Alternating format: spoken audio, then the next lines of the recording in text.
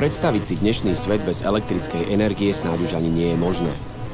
Všetci sme na nej absolútne závislí v každej oblasti nášho života. Jej spotreba každým rokom prudko narastá.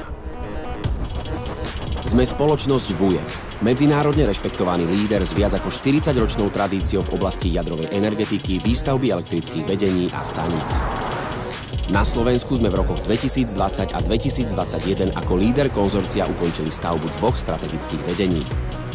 Na trase križovaný Bystričany v dĺžke 77,8 km a od Rimavskej soboty po štátnu hranicu s Maďarskou republikou v dĺžke 27,4 km.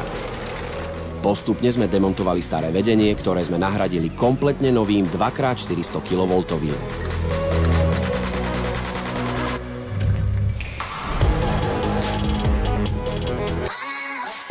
Spojili sme Rimavskú sobotu s rozvodňou Šajovánka v Maďarsku. Maďarsko je pre našu krajinu dôležitým partnerom a vďaka medzinárodnému prepojeniu sa zvýšila možnosť cezhraničného obchodovania s elektrickou energiou. 10 tisíce ľudí sa vďaka našim stavbám môžu spolahnúť na kvalitnú dodávku elektriny a čerpať z nej budú aj budúce generácie.